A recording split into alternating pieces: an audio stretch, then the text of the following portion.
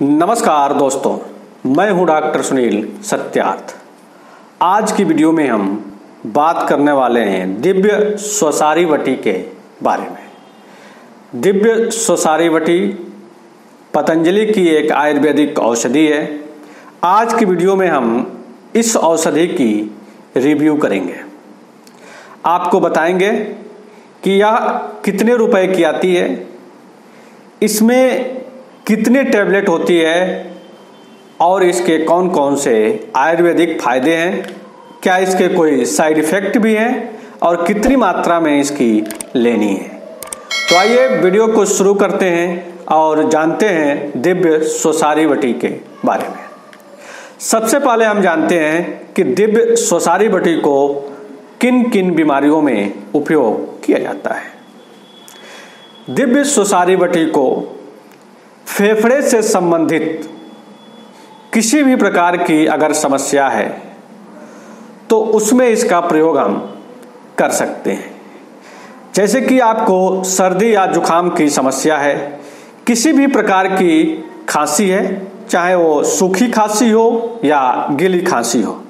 Asthma की शिकायत है, टीबी के रोगियों के साथ ही रेस्पिरेटरी डिज़ीज़ के जो रोगी होते हैं, वो भी इस औषधि का प्रयोग कर सकते हैं।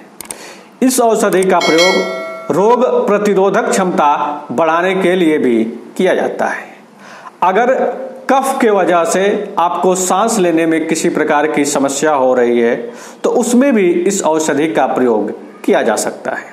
आइए जानते हैं कि इस औषधि की कितनी मात्रा लेनी होती है।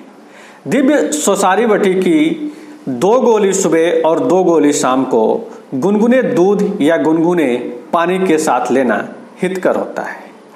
अगर आपकी बीमारी या जो समस्या है वो ज़्यादा गंभीर है तो आपको इसकी दो दो गोलियाँ सुबह, दोपहर और शाम ठीक दूध और गुनगुने पानी के में से किसी एक के साथ आप ले सकते हैं। इसके साइड इफ़ेक्ट अभी तक इसके कोई खास साइड इफ़ेक्ट नहीं देखे गए हैं, लेकिन फिर भी 10 साल से कम उम्र के बच्चे और गर्भवती महिलाओं को इसका सेवन नहीं करना चाहिए। यह औषधि 120 रुपए में आती है और इस डिब्बे में इस औषधि की 80 गोलियाँ होती हैं।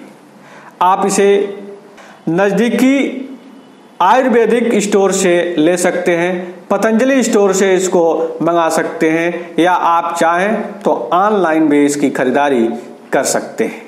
इसका लिंक हमने डिस्क्रिप्शन बॉक्स में दे दिया है, आप वहाँ से जा करके इसे अमेजोन से भी परचेज कर सकते हैं।